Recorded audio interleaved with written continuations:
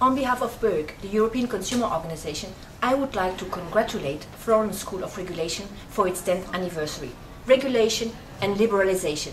Europe's energy markets have seen a lot of both. Your research, your analysis, and your uh, training in this area has really helped creating and stimulating a debate on how future energy policies should look like in Europe. You have been also very supportive in putting the consumers at the heart of the European energy policy and helped making markets in the energy area simpler, more affordable and more transparent. Enjoy your celebrations and I wish you all the best for your future work.